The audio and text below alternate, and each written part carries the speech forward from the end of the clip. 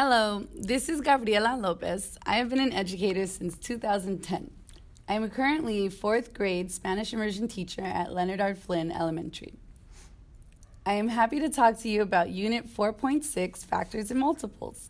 You and your students will start this unit the second week of February and go up to the first week of March. The big idea of this unit is that numbers can be classified as prime or composite and can be expressed as a product of their factors or as a factor of their multiples. For example, the number 7 is prime because it only has two factors, 1 and itself. It is the product of 1 times 7. It is also a factor of its multiple, the number 21. On the other hand, the number 9 is composite because it has more than two factors, 1, 3, and 9. Nevertheless, it is also the product of its factors as well as the factor of its multiple, the number 27. The number 1 is neither prime nor composite because it only has one factor, itself. It is the only natural number with this characteristic. It is important that students make connections between math they have already learned and math they are going to learn. Prior to fourth grade, students learn skip counting by numbers such as fives, tens, and hundreds.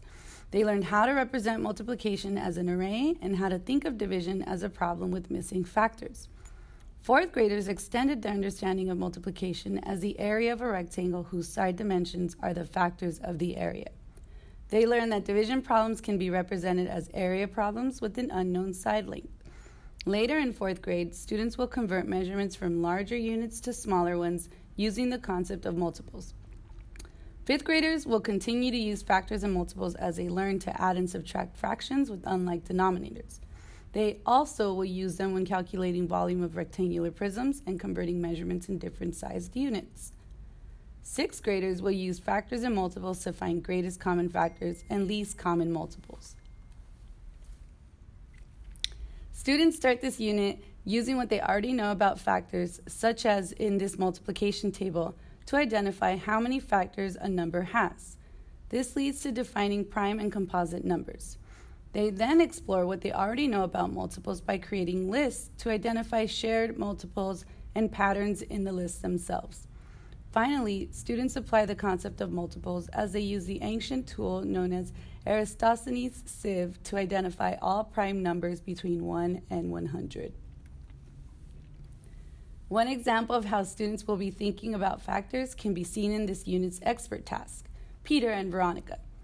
In this task, students are asked to evaluate some statements made about numbers as being factors, multiples, prime, and or composite. This lesson can be done with the paper version, but it is also available as a Google presentation in the online unit folder.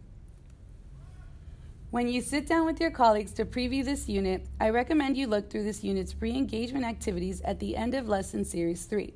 You may have noticed that each math unit this year has one day of re engagement activities designed to be used as centers or math menus.